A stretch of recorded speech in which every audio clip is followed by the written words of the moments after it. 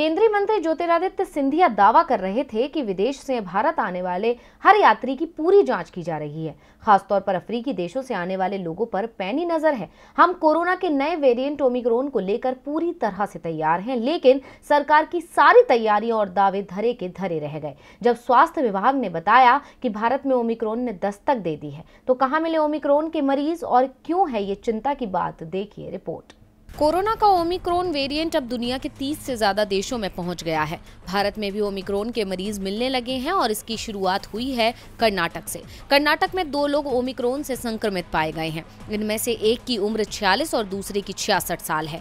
दिल्ली में भी अफ्रीकी देशों से आए चार और लोग कोरोना पॉजिटिव मिले हैं। उन्हें लोक नारायण जयप्रकाश अस्पताल में भर्ती कराया गया है। उनके सैंपल को जीनोम सिक्वेंसिंग के लिए भेजा गया है। दिल्ली के स्वास्थ्य मंत्री सत्येंद्र जैन ने कहा कि विदेश से आने वाले यात्री के लिए एयरपोर्ट पर आरटीपीसीआर टेस्ट कराना अनिवार्य होगा। बुधवार को ही भारत ने विदेश से आने वाले यात्रियों के लिए नियमों को कड़ा किया है, खासतौर से उन देशों से जहाँ ओमिक्रोन केस मिले हैं। हेल्थ मिनिस्ट्री के ज्वाइंट सेक्रेटरी लव अग्रवाल ने बताया कि ओमिक्रोन के तेज़ी से फैलने की आशंका है।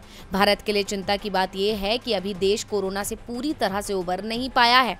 अभी भी भारत में रोज करीब दस हज़ार मामले मिल रहे हैं। ऐसे में ओमिक्रोन वेरिएंट के आने से परेशानियाँ और बढ़ती दिख रही हैं। राज्य सरकारों ने अभी से इसे लेकर तैयारियाँ भी शुरू कर दी हैं।